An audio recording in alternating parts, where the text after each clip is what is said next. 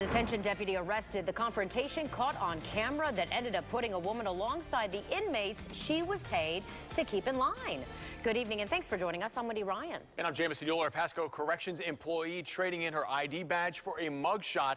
Because of this altercation, you can see Leanne Hindman forcing an inmate into a chair and then slapping her across the face. ABC Action News reporter Eric Waxler tells us what led up to this encounter.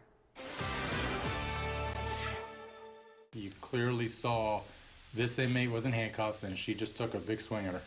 Pasco Sheriff Chris Nocco says there is no way to defend what is clear in the surveillance video. Investigators say it shows Corporal Leanne Hindman dealing with a female inmate inside the Land O'Lakes jail yesterday.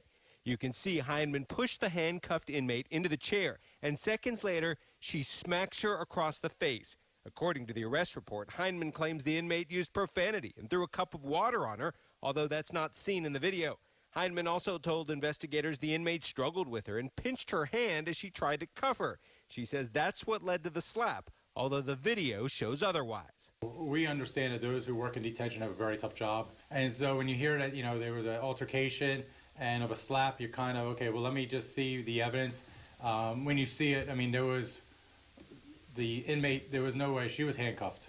Another detention deputy reported the incident, and Hindman, who worked for the sheriff's office since 1995, was arrested on battery charges and fired. If there was a fight and the fight was on, that's one thing.